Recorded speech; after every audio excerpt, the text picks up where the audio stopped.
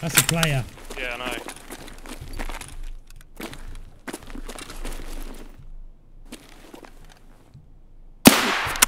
Dead. Good job. Cheers